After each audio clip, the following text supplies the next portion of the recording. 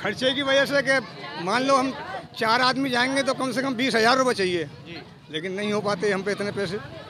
तो हमें ये मौका मिला और हमने अपनी ये तमन्ना हमारे दिल की पूरी करी उन्होंने। इनकी भावना ये है कि एक गरीबों का सहारा बनना चाह रहे हैं ये। और परिवार से इतने बढ़िया आदमी के पहले से ही।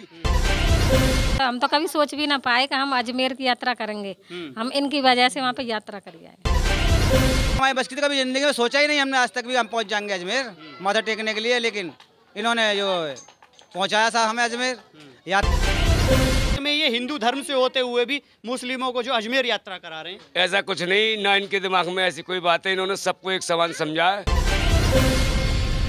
जहाँ एक तरफ़ वोटों की राजनीति के लिए कुछ राजनेता समाज को बांटने का काम करते हैं तो वहीं समाज सेवी अतुल गोयल गंगा जमुना तहजीब को जीवन करते नज़र आ रहे हैं। हिंदुओं को निशुल्क गंगा, खाटू श्याम व वृंदावन यात्रा करा रहे हैं तो वहीं मुस्लिमों को अजमेर शरीफ यात्रा कराकर गरीब व मजलूमों के मसीहा बन रहे हैं। समाज सेवी अतुल गोयल के द्वारा किए जा रहे ऐसे ही सामाजिक कार्यो को तहकीकात करने के लिए जब हमारी टीम ने खैर पहुँच ग्राउंड लेवल पर जब इसकी तहकीकात की तो आप भी देखिए क्या बोली खैर की जनता। हिंदुस्तान के हर मुस्लिम की एक ख्वाहिश होती है कि अपने जीवन में वह कम से कम एक बार अजमेर शरीफ की दरगाह पर मत्था टेक कर आए।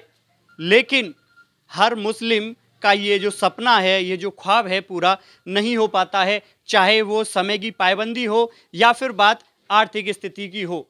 लेकिन आज हम आपको बता दें कि खैर के समाज सेवी अतुल गोयल जी द्वारा सैकड़ों लोगों को बस द्वारा अजमेर शरीफ की निशुल्क यात्रा कराई गई। उसी पर चर्चा करने के लिए आज हम खैर की मुस्लिम बाहुल्य इलाके में हम मौजूद हैं और यहाँ पर मेरे साथ में कुछ महिलाएँ हैं और कुछ लोग भी हमारे साथ मौजूद हैं। सबसे पहले मैं आपका नाम जानना चाहूँगा।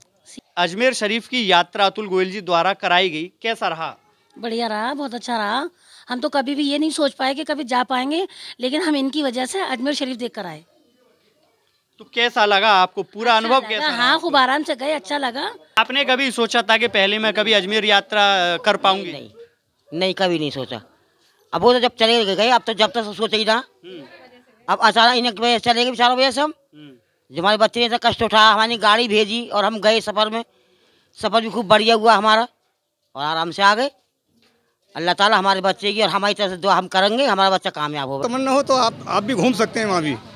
लेकिन हमने कही कोई बात नहीं है हम तो अजमेर शरीफ घूम लिए इतना ही काफ़ी है हमारे लिए. यानी कि गंगा यात्रा में हिम्मत नहीं हो क्योंकि बहुत सारी चीज़ें सामाजिक होती हैं एक सामाजिक दायरे में होती हैं। तो जिस तरह से आप अजमेर शरीफ की यात्रा के लिए गए पहले आपने बोल रहे हैं कि हमने बोल रखा था अजमेर शरीफ जाने के लिए क्या ऐसे कारण रहे कि आप नहीं जा पाए वहाँ पे? बस ये कुछ मजबूरी होती है कुछ अपनी मजबूरी है और कुछ खर्चे की वजह से कि मान लो हम चार आदमी जाएँगे तो कम से कम बीस हज़ार रुपये चाहिए। लेकिन नहीं हो पाते हम पे इतने पैसे। तो हमें ये मौका मिला और हमने अपनी ये तमन्ना हमारे दिल की पूरी करी उन्होंने। और हमारे ऊपर उनका बहुत बहुत एहसान भी है, ऐसे नहीं। तो आप देख सकते हैं किस तरह से एक खुशी का माहौल इन लोगों के बीच में है कि कम से कम चार लोगों का जो खर्चा बीस हज़ार रुपये का अजमेर शरीफ यात्रा में आता है, लेकिन अतुल गोयल जो समाज सेवक हैं, उन्होंने इन्हें मुफ़्त में निःशुल्क इन्हें अजमेर शरीफ की यात्रा कराई।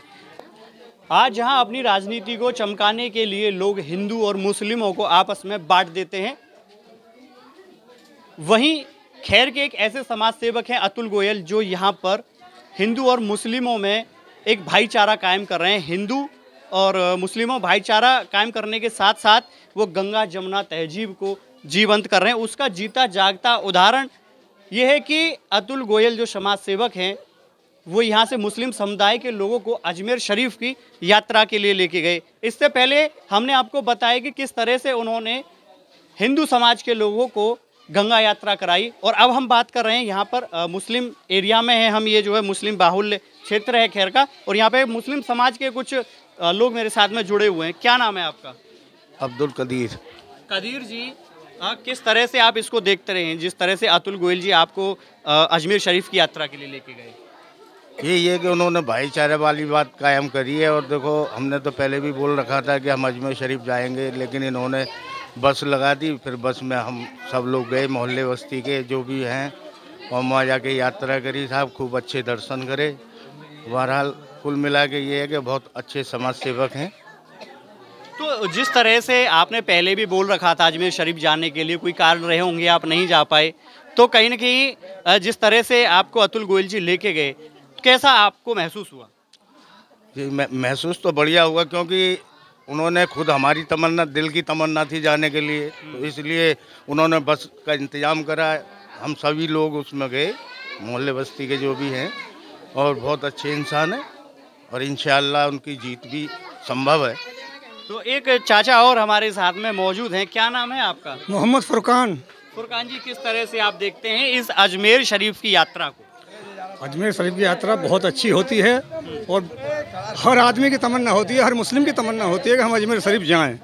लेकिन किसी कारण वो नहीं जा पाते हैं कुछ लोग चले भी जाते हैं।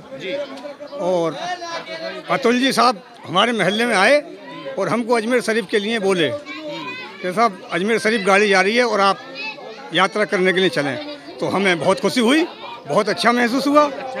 और आ, वो समाज सेवक भी हैं वैसे।